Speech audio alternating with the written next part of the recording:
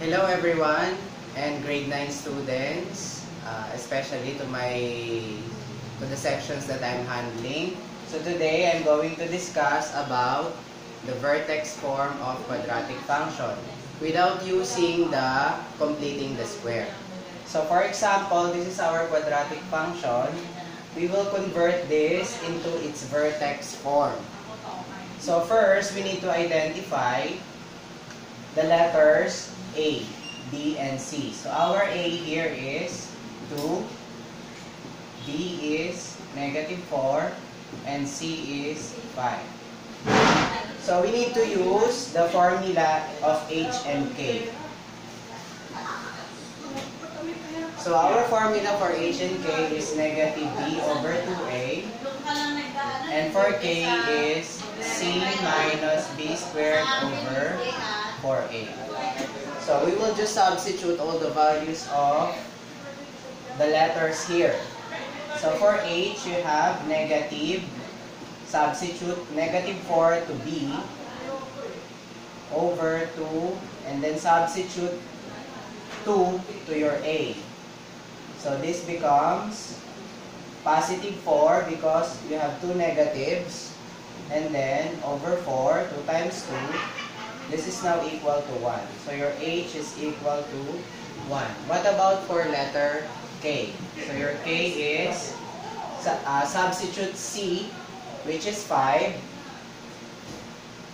and minus substitute B, which is negative 4, squared over 4 times substitute A, which is 2. So this is now 5 minus, square this, it becomes 16 over 4 times 2, 8. So what is 16 divided by 8? That will give you 2.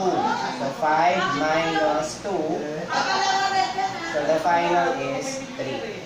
So your vertex form for this, you will just substitute letter A, letter H, and letter K. So your vertex form is y equals A which is 2, quantity x minus h.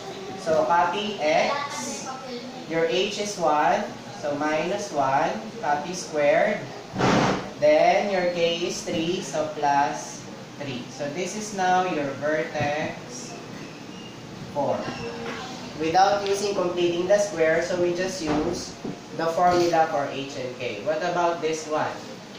So our a is negative 1, B is negative 4, and C is negative 5. So again, we will just use uh, the formula for H and K. So our H is negative B, which is our B is negative 4, over 2 times our A is negative 1.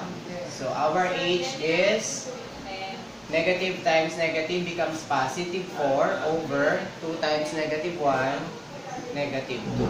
So since you have different signs, 4 and negative 2, just divide it, the answer is negative 2.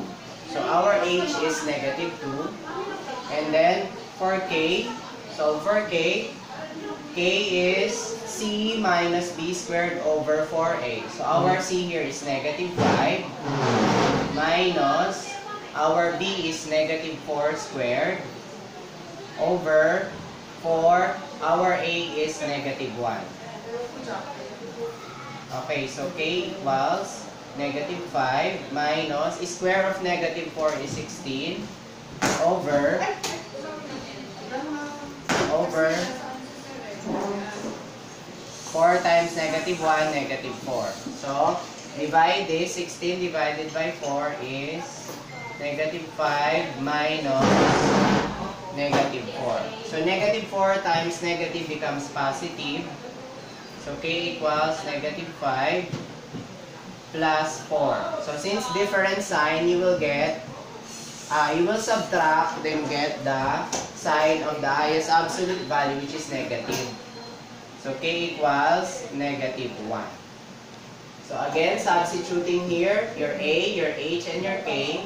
Your vertex form now is y equals, your a is negative 1, so negative, no need to put 1.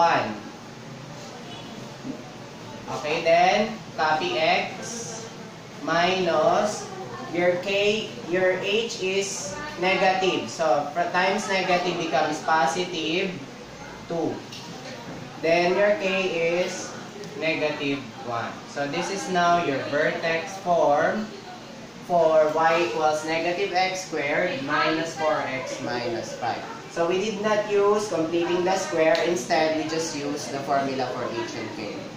That's all. Don't forget to subscribe and watch the video and then put the comments below on what have you learned from this video. Thank you.